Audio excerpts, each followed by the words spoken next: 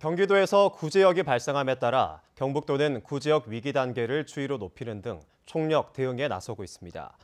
거점 소독 시설과 통제 초소 14곳을 설치해 차단 방역에 나서고 도내 사육 농가에 대한 임상 예찰과 함께 철새 도래지와 전통 시장 등에 대한 방역 작업을 벌일 계획입니다.